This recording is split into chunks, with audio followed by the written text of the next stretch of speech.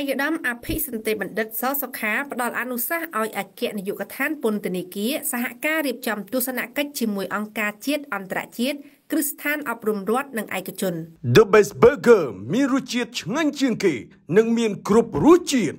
អាយដាមអភិសន្តិបណ្ឌិតសសុខាឧបនាយករដ្ឋមន្ត្រីរដ្ឋមន្ត្រីក្រសួងហាផ្ទៃបានផ្ដល់អនុសាសន៍ឲ្យអគ្គនាយកដ្ឋានពន្ធនាគាររួមទាំងប្រធានពន្ធនាគារនិងមណ្ឌលអប់រំកែប្រែទូទាំងប្រទេសពិនិត្យលទ្ធភាពបង្កើតកិច្ចសហការជាមួយអង្គការជាតិអង្គការអន្តរជាតិ គ្រឹះស្ថានអប់រំរដ្ឋនិងឯកជន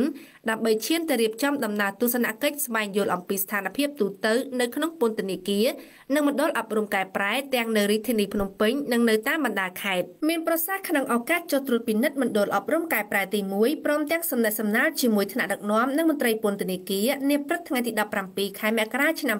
2024នេះ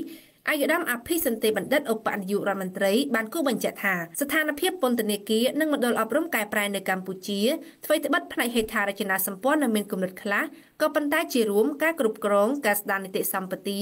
ការអប់រំនិងបណ្ដុះបណ្ដាលជំនាញវិជ្ជាជីវៈជាដើមបានប្រព្រឹត្តទៅយ៉ាងល្អបើតាមអាយដាមអភិសន្តិបណ្ឌិតសសុខាបានសហការរៀបចំទស្សនកិច្ចនៅតាមបណ្ដាពន្ធនាគារនិងមណ្ឌលអប់រំកែប្រែគឺជាការផ្ដល់ឱកាសជូនភាគីពាក់ព័ន្ធជាពិសេសអង្គការជាតិនិងអន្តរជាតិបានមើលឃើញដោយផ្ទាល់ភ្នែកនិងស្វែងយល់កាន់តែច្បាស់អំពីស្ថានភាពពិតជាពិសេសកិច្ចខិតខំប្រឹងប្រែងរបស់ថ្នាក់ដឹកនាំនិងមន្ត្រីពន្ធនាគារក្នុងការអនុវត្តវិធានការសន្តិសុខក៏ដូចជាលើកស្ទួយសិទ្ធិជាប់ឃុំតាមច្បាប់កំណត់ជាអាចសិទ្ធិទទួលបានការបណ្ដុះបណ្ដាលជំនាញវិជ្ជាជីវៈសិទ្ធិសុខភាពជំនឿសាសនានិងការផ្គត់ផ្គង់របបអាហារជាដើម ប្រសិនបើធ្វើបានយ៉ាងហោចណាស់មួយដងក្នុងមួយឆ្នាំ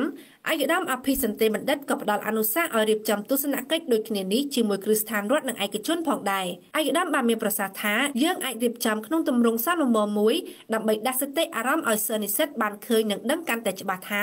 តើអ្វីទៅជាពន្ធនាគារឬមណ្ឌលអប់រំកែប្រែដឹងពីផលនៃការប្រព្រឹត្តអំពើខុសច្បាប់ហើយចូលរួមផ្សព្វផ្សាយទៅកាន់មិត្តភ័ក្តិនិងសហគមន៍ក្នុងឱកាសនោះអាយុដាមអភិសន្តិបណ្ឌិតក៏បានអញ្ជើញត្រួតពិនិត្យទីតាំងសំខាន់សំខាន់រួមមានអគារឃុំខ្លួនអគារបណ្ដុះបណ្ដាលអប់រំនិងបណ្ដុះបណ្ដាលជំនាញវិជ្ជាជីវៈបណ្ណាល័យ